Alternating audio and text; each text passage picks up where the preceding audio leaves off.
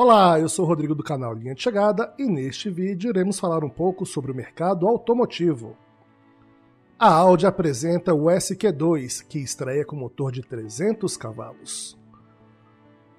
O motor 2.0 TFSI de 300 cavalos é o grande destaque do Audi SQ2, versão esportiva do SUV Q2 e que acaba de ser revelado pela montadora. Dotado de tração integral e de câmbio automatizado S-Tronic de 7 marchas e dupla embreagem, o Audi SQ2 acelera de 0 a 100 km por hora em 4,8 segundos e atinge os 250 km por hora de velocidade máxima.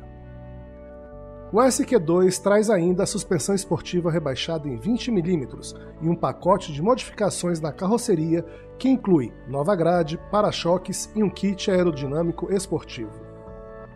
Por dentro, o SQ2 segue o espírito dos outros modelos esportivos feito pela Audi, com bancos com forração parcial em couro e tecido e costuras contrastantes.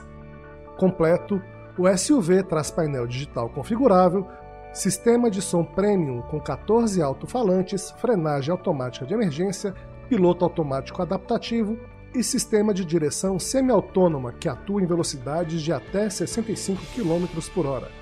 E aí, o que você achou do Audi SQ2? Deixe a sua opinião aqui nos comentários.